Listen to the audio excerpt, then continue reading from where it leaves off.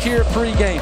This is Bill Armstrong, an assistant for LSU there in white. Antoine Pettway from Alabama. They start jawing a little bit. Other assistants start to get involved in it. Now here come the players.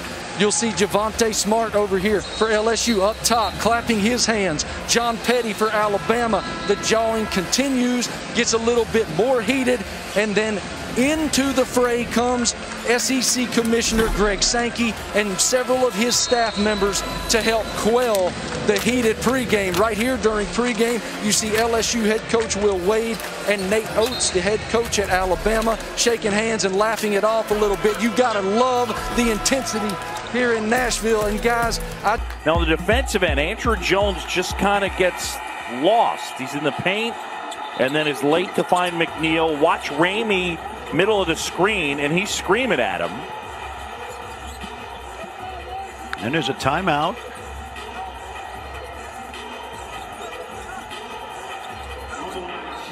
And eventually a timeout. And here they go. Watch this. Andrew Jones gives him the Heisman, and then they are going to get after it. And I'm talking about holding each other back and and it, you know, it's interesting. I've been in a lot of these huddles, John, and sometimes it's just two competitive guys, junkyard dogging it. And Courtney Ramey apparently was upset with the lack of effort. Well, we had big time fireworks while you were away. Technical on Mark Turgeon, a double technical on Juwan Howard, who has been ejected from this game. And he was incredibly animated. But Turgeon remains. He just had one technical. But here is what happened. See Juwan Howard starting to yell out something at the other side, and then there was some jawing back and forth between he and Mark Turgeon. Look at this. I mean, it, it got really testy, Sean. It, it, did, and the officials did a good job of stepping in before what was a bad situation could have gotten progressively worse. And now what is always a tough job if you're an official, especially at this level, this became even more so because you're going to have to make sure that what happened as we went to break doesn't seep over. You look at the, the assistants that had to keep Juwan Howard back. For the three-point or the, the foul on the three-point shot. As they're taking a look and trying to see what happened, the foul was on Baldwin, his fourth.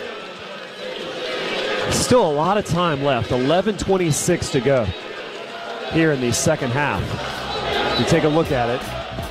If you were to imagine taking headsets and turning the volume down, he did that from the outside. He's only listening to the things that his basketball folks and Mike White are saying. And now we got a tie up Fulkerson on the ground. Pons gets in the face of Omar Payne. Rick Barnes is over there grabbing his players and moving them away. Get a look take at a look. right there. Oh my, he right there. That he one, gone. the second one, wow, with the right hand, and that he will be gone out of this game. Omar Payne. Fulkerson went with the Boom. right, but that's a knockout elbow as Fulkerson collapsed to the ground.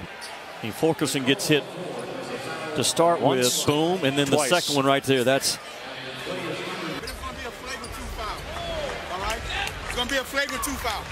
So Mike White maybe has his thoughts on it. Omar Payne has to leave the floor. He has to go to the floor of the locker room with that F2. Game, I had the under of 47. And look at Chris Beard. Well, I, this anger goes back to that fourth foul on McClung.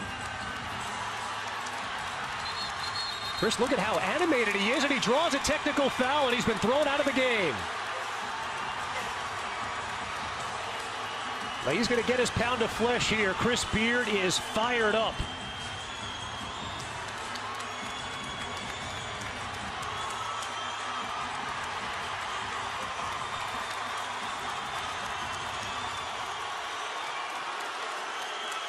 And he's still going after this officiating crew.